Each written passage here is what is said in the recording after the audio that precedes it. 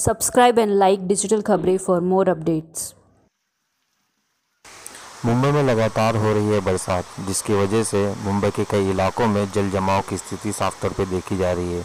मुंबई के मलाड इलाका हो साइन हो, परेल हो, कुर्ला हो, किंग सर्कल, इन सभी इलाकों में जल जमाव देखने को मिल रहा है।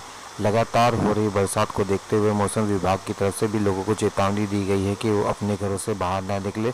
जो ज़रूरत है उसी के अनुसार ही वो घर से बाहर निकले। मुंबई पुलिस ने भी सभी को अलर्ट जारी किया है कि तेज़ बारिश और जिस तरह से लॉकडाउन है, उसे देखते हुए कोई भी अपने घरों से बाहर ना निकले। मुंबई के कई इलाकों में जल जमाव की स्थिति साफ़ तौर पर देखी जा रही है और इस लगातार मौसम विभाग की तरफ़ से भी चेतावनी दी गई है कि ये बरसात चौबीस घंटे में और भी बढ़ सकती है।